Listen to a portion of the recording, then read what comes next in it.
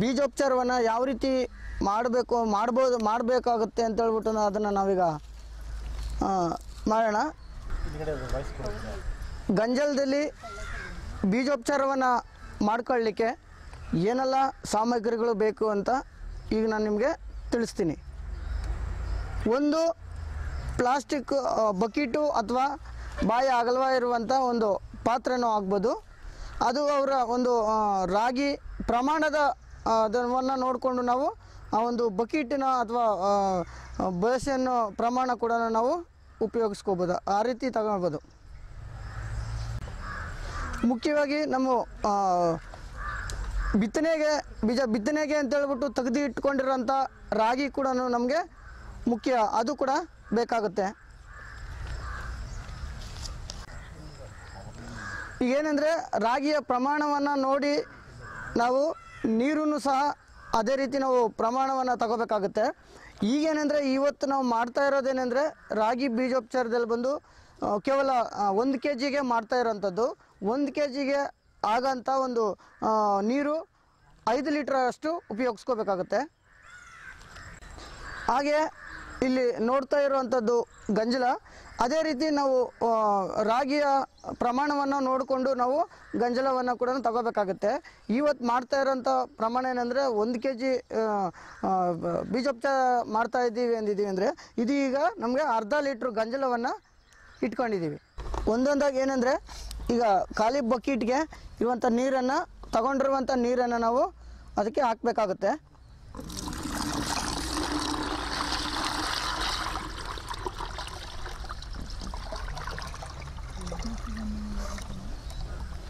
ಅದೇ ರೀತಿ ಗಂಜಲವನ್ನು ಕೂಡ ಅರ್ಧ ಲೀಟ್ರು ಗಂಜಲವನ್ನು ಕೂಡ ನಾವು ಆ ನೀರಿನಲ್ಲಿ ಹಾಕಬೇಕಾಗುತ್ತೆ. ನಂತರ ನಾವು ಕೈಯಿಂದ ನೀರನ್ನ ಚೆನ್ನಾಗಿ ಒಳಗಡೆ ತಿರುಗಿಸ್ಬೇಕಾಗುತ್ತೆ. ಏಕೆಂದರೆ ಗಂಜಲ ಮತ್ತು ನೀರು ಸರಿಯಾಗಿ ಅದು ಮಿಶ್ರಣ ಆಗಬೇಕು. ಆದ್ದರಿಂದ ನಾವು ಕೈ ಹಾಕಿ ಚೆನ್ನಾಗಿ ಒಳಗಡೆ ಕಲಕ್ಸ್ಬೇಕಾಗುತ್ತೆ. ಅನಂತರ ನಾವೇನು ತಗೊಂಡಿದ್ದೀವಲ್ಲ ರಾಗಿಯನ್ನು, ಅದನ್ನು ನಾವು ಆ ಒಂದು ನೀರಿನೊಳಕ್ಕೆ ಸುರಿದು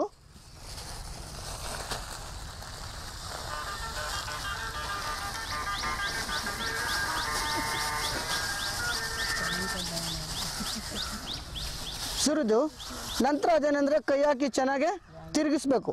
ಅಂದರೆ ಒಳಗಡೆಯಿಂದ ಕೂಡ ನಮಗೆ ಕಾಳು ಎಲ್ಲ ಕೂಡ ತಳದಲ್ಲಿ ಕುಂತಿರುತ್ತೆ. ಆ ಕುಂತಿರೋಂಥ ಸಮಯದಲ್ಲಿ ಒಳಗಡೆಯಿಂದ ಕೈ ಹಾಕಿ ಈ ಥರ ಈ ರೀತಿ ಮೇಲಕ್ಕೆ ತೇಲಿಸುವ ಹಾಗೆ ನಾವು ಚೆನ್ನಾಗಿ ತಿರುಗಿಸ್ಬೇಕು. ಈಗ ನೋಡಿ, ತಿರುಗಿಸ್ತಾ ತಿರುಗಿಸ್ತಾ ಇದ್ದಂಗೆ ಏನಾಗುತ್ತೆ ಅಂದರೆ ಅಲ್ಲಿ ಕೆಲವೊಂದು ಬೀಜಗಳ ಗುಣಮಟ್ಟ ನಮ್ಗೆ ಇಲ್ಲೇ ಕಾಣ್ತಾ ಇರುತ್ತೆ. ಯಾಕೆಂದರೆ ಎಲ್ಲ ತೇಲ್ತಾ ಇರುತ್ತೆ. ಅಂದರೆ ಏನು ಕಾರಣ ಅಂದರೆ ಅದರಲ್ಲಿ ಜಳ್ಳು ಅಥವಾ ಬೇರೆ ಬೇರೆ ಬೀಜಗಳು ಉತ್ಕೃಷ್ಟವಾಗಿ ಇರೋದಿಲ್ಲ. ಹಂಗಿರೋದ್ರಿಂದ ಅವೇನಾಗಿರುತ್ತೆ ಅಂದರೆ ಅದು ಎಲ್ಲ ತೇಲ ಅಂತ ಒಂದು ಇದು ಬಂದಿರುತ್ತೆ. ನೋಡಿ, ಕಾಣ್ತಾ ಇದ್ದೀರ? ಎಷ್ಟು ಒಂದು ಕೆ ಜಿ ಪ್ರಮಾಣಕ್ಕೆ ಇಲ್ಲಿ ನೋಡಿ, ಸುಮಾರು ಒಂದು ಐವತ್ತರಿಂದ ನೂರು ಗ್ರಾಮ್ ಅಷ್ಟು ನಮಗೆ ಈ ಒಂದು ವೇಸ್ಟೇಜ್ ಅಂತ ಹೇಳ್ತೀವಿ. ಈ ರಾಗಿ ಅಂತ ಹೋಗುತ್ತೆ ನೋಡಿ. ಇಷ್ಟು ವೇಸ್ಟೇಜ್ ಅಂತ ಕಾಣದೆ.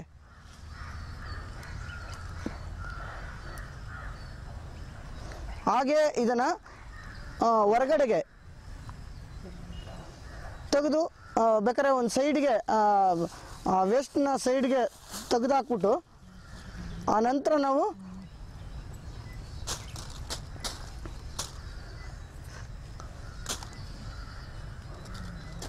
ಆ ನೀರನ್ನೆಲ್ಲ ಕೂಡ ನಾನು ಹೊರಗಡೆ ಚೆಲ್ಲೋ ಅಂಥದ್ದು ಅದೇ ರೀತಿ ಈಗ ನಾವು ಈ ರೀತಿ ನೀರಿನಲ್ಲಿ ಕಲಸ ಕಲಸಿದ ಮೇಲೆ ಇದು ಹದಿನೈದು ನಿಮಿಷದವರೆಗೂ ಇದನ್ನು ಇದೇ ನೀರಲ್ಲೇ ನೀರನ್ನು, ಆ ಒಂದು ರಾಗಿಯನ್ನು ನೆನೆಸಿಡಬೇಕು. ಅಂದರೆ ಈ ರೀತಿ ನೆನೆಸಿಟ್ಟಂತಾಗ ಏನಾಗುತ್ತೆ ಅಂದರೆ ಅದೇ ನಮಗೆ ಗೊತ್ತಿಲ್ಲದೇ ಆ ಒಂದು ಕಾಳಿಗೆನೇ ಗೊತ್ತಿಲ್ಲದೇ ಒಂದು ಆ ಗಿಡದಿಂದನೇ ಬುಡದಿಂದನೇ ಶುರುವಾಗಿ ಕೆಲವೊಂದು ಕಾಯಿಲೆಗಳು ಕೂಡ ಕೆಲವು ರೋಗ ಕೂಡ ಆ ಒಂದು ಬೀಜದಲ್ಲಿ ಹುಟ್ಟಿ ಬಂದಿರುತ್ತೆ. ಸೊ ನಾವು ಈ ರೀತಿ ಒಂದು ಹದಿನೈದು ನಿಮಿಷದ ಕಾಲ ಗಂಜಲದ ಮಧ್ಯೆ ನಿಂತಾಗ ಅದು, ಆ ಒಂದು ಬೀಜದಲ್ಲಿ ಇದ್ದಂಥ ರೋಗವನ್ನು ಅದು ಗಂಜಲ ಎಲ್ಲ ತೊಳೆದಾಕುತ್ತೆ. ಆವಾಗ ಏನಾಗುತ್ತೆ ಅಂದರೆ ಬೀಜವನ್ನು ಬೇಗ ಅದು ಹುಟ್ಟಿಸ್ಕೊಡೋಕ್ಕೆ ಒಂದು ಸಹಕಾರ ಕೊಡುತ್ತೆ. ಮತ್ತೇನೆಂದರೆ ಅದು ಬೆಳವಣಿಗೆ ಮುಂದಕ್ಕೆ ಬೆಳವಣಿಗೆ ಆಗಬೇಕಾದ್ರೆ ಕೂಡ ಚೆನ್ನಾಗಿ ಬೆಳವಣಿಗೆ ಬೆಳೆಸಿಸ್ಕೊಡುತ್ತೆ. ರೋಗಗಳು ಕೂಡ ಅಷ್ಟೇ ಒಂದು ಪ್ರಮಾಣದಲ್ಲಿ ಅದು ಕಂಟ್ರೋಲ್ ಮಾಡುತ್ತೆ. ಮುಖ್ಯವಾಗಿ ಏನಂದರೆ ಇಲ್ಲಿ ನೋಡಿರ್ತಾರೆ ಕೆಲವೊಂದು ಬೇರೆ ಥರ ಈಗ ರಾಗಿಗೆ ಈ ರೀತಿ ಆಯಿತು. ಇದೇ ರೀತಿ ಕೂಡ ನಾವು ಭತ್ತಕ್ಕೂ ಕೂಡ ಮಾಡ್ಬೋದು.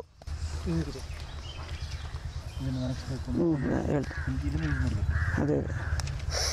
ಈ ರೀತಿ ನಾವು ಹದಿನೈದು ನಿಮಿಷದ ಕಾಲ ಈ ಒಂದು ಗಂಜಲದ ನೀರಲ್ಲಿ ನಾವು ಉಪಚಾರ ಮಾಡಿದಂಥ ನೀರಿನಲ್ಲಿ ಹಾಕಿದಂಥ ಹದಿನೈದು ನಿಮಿಷದ ಕಾಲ ಇದ್ದಂಥ ರಾಗಿಯನ್ನು ನಾವು ಮತ್ತೆ ನಾವು ಒಣಗಿಸ್ಲಿಕ್ಕೆ ನಾವು ತಕ್ಕೋಬೇಕಾಗತ್ತೆ. ಏನಂದರೆ ಇಲ್ಲಿ ನಾವು ಒಣಗಿಸ್ಬೇಕಾದ್ರೆ ನಾವು ತೇವಾಂಶ ಹೆಚ್ಚಿಗೆ ಇರೋಂಥ ಸಾಧ್ಯತೆ ಇರುತ್ತೆ ಎಲ್ಲ ರಾಗಿ ರಾಗಿ ಬೀಜದಲ್ಲಿ. ಸೊ ಅದನ್ನು ನಾವು ಬಟ್ಟೆ ಮೇಲೆ ಅಂದರೆ ತೆಳ್ಳಗಿರುವಂಥ ಒಂದು ಬಟ್ಟೆ ಮೇಲೆ ನಾವು ಆರಿಸಿ ನೆರಳಿನಲ್ಲೇ ಒಣಗಿಸ್ಬೇಕಾಗುತ್ತೆ ಇದು. ಯಾಕೆಂದರೆ ಗಂಜಲದ ಒಂದು ಖಾರದ ಅಂಶ ಇರೋದ್ರಿಂದ ನಾವು ಯಾವುದೇ ಕಾರಣಕ್ಕೂ ಬಿಸಿಲಿನಲ್ಲಿ ಹಾಕಬಾರ್ದು ಅದು.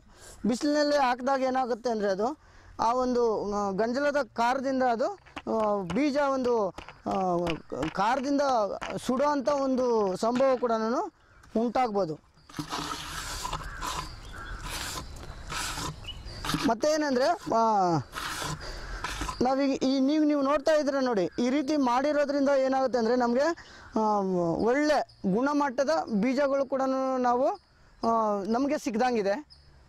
ಸುಮಾರು ಜಳ್ಳು ಕೂಡ ಹೊರಗಡೆ ಹೋಗಿ, ಹೋಗಿದೆ.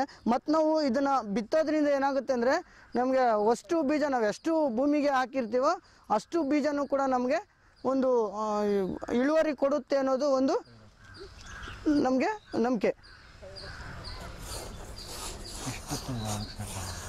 ಮತ್ತು ಇದನ್ನು ನಾವು ನಾವು ಬಿತ್ತೋದಕ್ಕೂ ಮುಂಚೆ ನಾವು ಏನು ಮಾಡಬೇಕಂದ್ರೆ, ನಾವು ಇದೇ ರೀತಿ ಇವಾಗ ಒಣಗಿಸ್ಬೇಕಂದ್ರೆ ಒಂದು ಸ್ವಲ್ಪ ಅದನ್ನು ನಾವು ಚೆಲ್ಲಂಗೆ ಹಾಕ್ಬೇಕು. ಚೆಲ್ಲಂಗೆ ಅಥವಾ ನಾವು ಬಿತ್ತಕ್ಕೆ ಹಾಕಬೇಕು.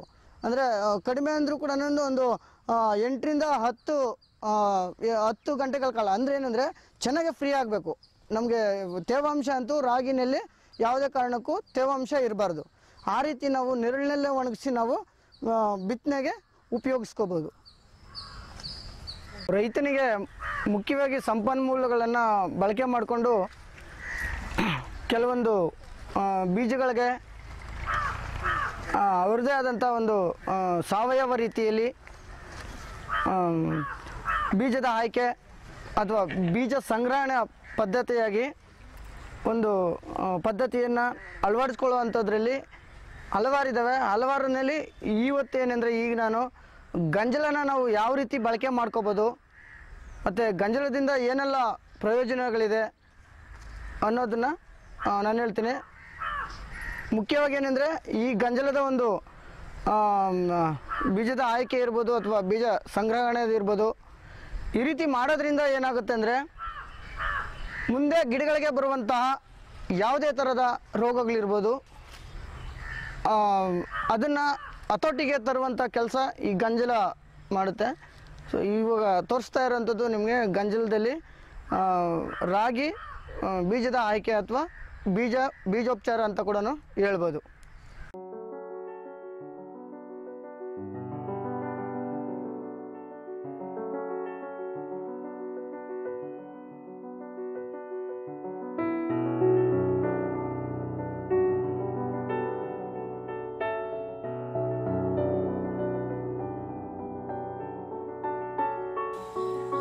ಹಾಗೆ ಇಲ್ಲಿ ನೋಡ್ತಾ ಇರುವಂಥದ್ದು ಗಂಜಲ ಅದೇ ರೀತಿ ನಾವು ರಾಗಿಯ ಪ್ರಮಾಣವನ್ನು ನೋಡಿಕೊಂಡು ನಾವು ಗಂಜಲವನ್ನು ಕೂಡ ತಗೋಬೇಕಾಗುತ್ತೆ ಇವತ್ತು ಮಾಡ್ತಾ ಇರೋಂಥ ಪ್ರಮಾಣ ಏನಂದರೆ ಒಂದು ಕೆ ಜಿ